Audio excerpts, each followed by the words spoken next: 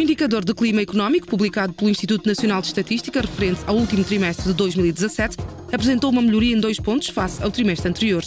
As melhorias verificaram-se nos setores da construção, comércio, transportes, turismo e comunicações.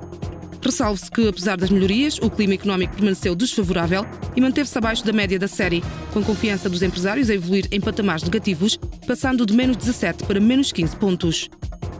O Banco Mundial, com o objetivo de melhorar os indicadores sociais de Angola, cedeu ao governo cerca de 110 milhões de dólares para o apoio ao setor da saúde nas províncias do Bengo, Luanda, Lunda Norte, Malange, Mochico, Uís e Quanto Cubango. A iniciativa vai beneficiar mulheres em idade reprodutiva e crianças menores de 5 anos, para além de apoiar 232 unidades de saúde primárias. O Banco Africano de Desenvolvimento vai financiar 4 milhões de dólares para a realização de um estudo de viabilidade que liga o caminho de ferro de Benguela à Zâmbia. O representante do BAD avançou estarem previstos mais financiamentos acima dos 500 milhões de dólares, com a identificação de cinco projetos prioritários no setor.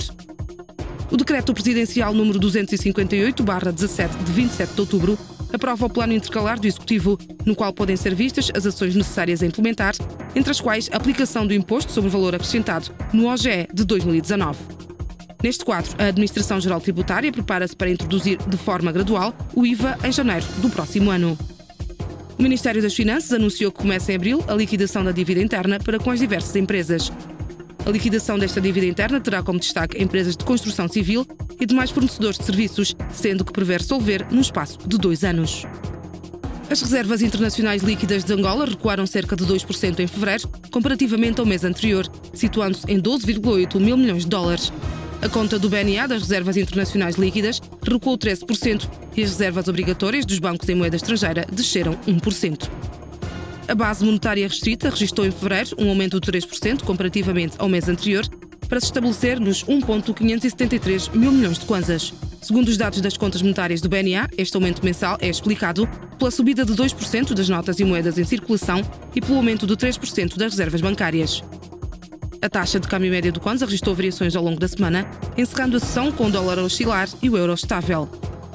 O preço do petróleo oscilou nos mercados internacionais. A matéria-prima encerrou a última sessão em queda, ao negociar nos 69,53 dólares por barril. O ouro encerrou a sessão em queda, negociando nos 1.325,01 dólares por onça.